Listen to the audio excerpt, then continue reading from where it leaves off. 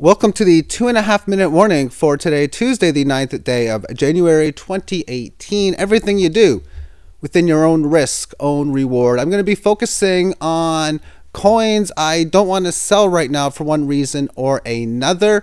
And I'll be using coinmarketcap.com log scale charts.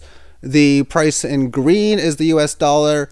The orangish color one is against Bitcoin, pretty much the exact same pattern market is a little overextended. Is it going to push it a little higher? It could. There's always a situation. Does it come back to this previous level of resistance? Is there going to be a lot of sideways movement? Because I bought this before, I'm just playing the buy low, sell high, and I'm mainly getting sell orders being filled. I had one small one filled last or through the night. XBY is the next one, and the orange one against Bitcoin which is making several higher lows. Again, so overextended, I would not recommend buying at this time unless you get much cheaper prices or you know something I don't. For me, I've been getting sell order city looking to buy back what I have sold at cheaper prices if they occur. And I've left myself enough inventory back to sell at much higher prices if that happens to achieve itself.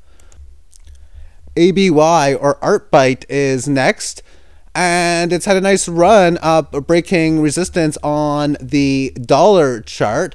It held this little area which was resistance mainly throughout 2015 and 16 and i think there's looks like this nice little decent upside action available even now. And just against uh, bitcoin over the last three months i like how it's consolidated here. Looking to break this resistance i think it could have a nice leg higher Power Ledger on its chart had this level of resistance, nice consolidation, holding well amongst this. I think this thing could be ready to go for good gains coming soon. Purecoin, this is against the dollar on the green one and against Bitcoin on the orange one, breaking out well against uh, the dollar, but nice little breakout pattern forming against Bitcoin. Let's take a look at that. And over the last year or so, it had this downtrend up to this point, back down to its level of resistance or support from before, or that was resistance.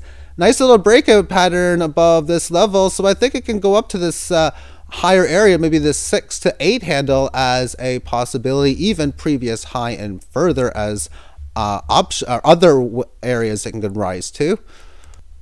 And finally, this is the DopeCoin of its entirety against Bitcoin. And after this long consolidation pattern, it broke above, it basically held and stayed above it.